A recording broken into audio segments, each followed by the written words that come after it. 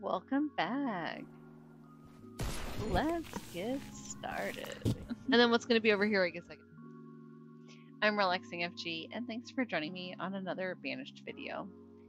We last left off having uh, left off at this corner of the map, flattening off some of these mountains here. There is still terrain to be flattened.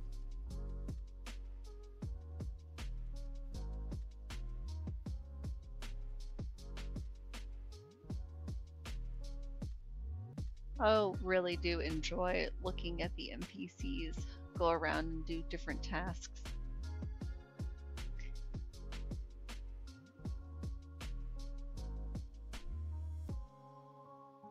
Here we have a home that caught fire. And a very awkward area here in between the mountains. These awkward areas do make for a good little industry. So I put in some woodcutters because we are always in need of more woodcutters at this stage.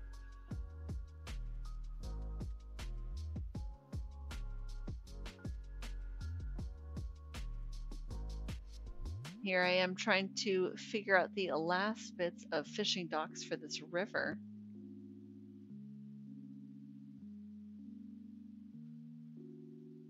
Fish is such a good source of food. Ooh, look at those beautiful farms. I wish I could look out in real life um, from like a drone's perspective like I can in this game.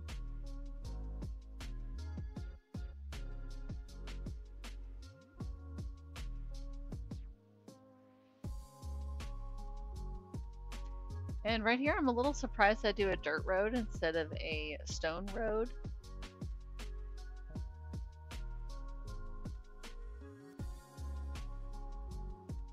And sometimes having roads is good for my laborers, just to have something for them to work on. Can give me an idea of how long it will take for laborers Please. to get to that area.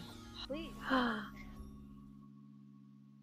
Well, thank you so much for watching. Don't forget to like, share, follow, and subscribe. Until next time, keep relaxing.